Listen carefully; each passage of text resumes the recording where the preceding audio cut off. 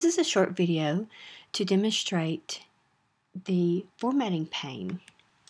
First of all, on your keyboard, press Shift and F1.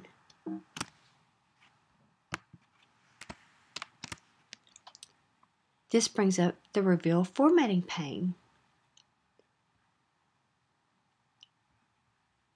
In our instructions, it tells us to select everything from Dear Customer all the way down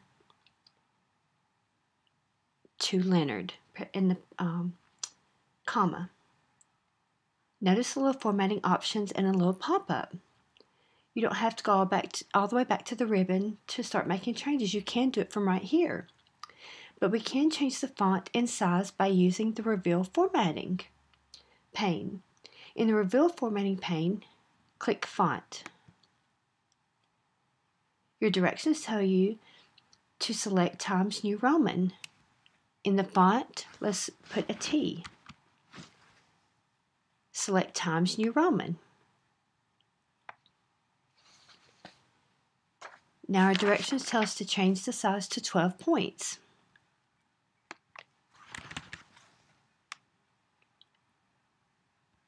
Click OK. And you have changed the font using the Reveal formatting. You can also change paragraph, paragraph style, alignment, indentation, spacing, and so much more. If you have any questions, feel free to contact your instructor.